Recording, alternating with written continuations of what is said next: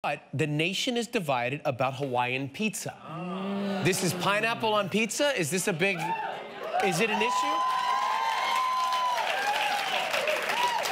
Few dishes have drawn such universal uh, controversy as putting pineapple on a pizza.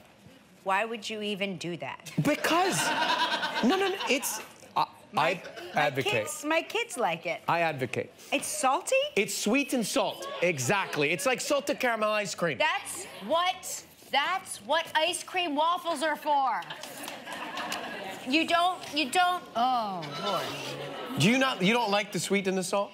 I mean, if you move that ham and that pineapple off of that, I will eat that pizza. yes, thank you. I love the crust. So, pineapple on the pizza, yay or nay?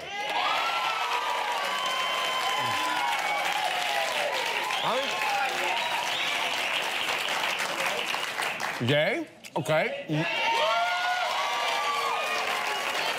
And nay. Nay, nay. It's, it's split even.